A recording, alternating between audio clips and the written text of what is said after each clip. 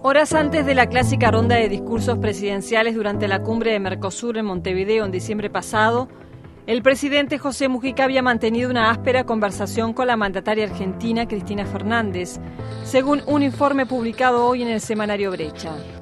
De acuerdo a esta información, esa áspera conversación llevó a que enfurecido Mujica golpeara sus anteojos sobre la mesa de una de las salas de reuniones del edificio Mercosur. Por eso se lo vio a Mujica con los lentes sin una de las patillas.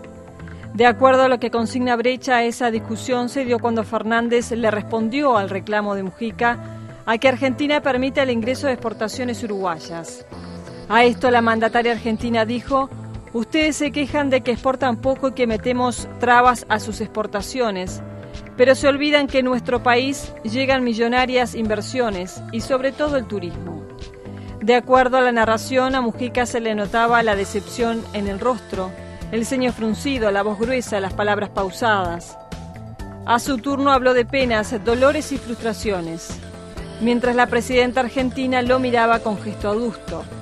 Después de todo esto, Argentina entregó a Uruguay la presidencia pro tempore del Mercosur y Cristina Fernández y Mujica se abrazaron.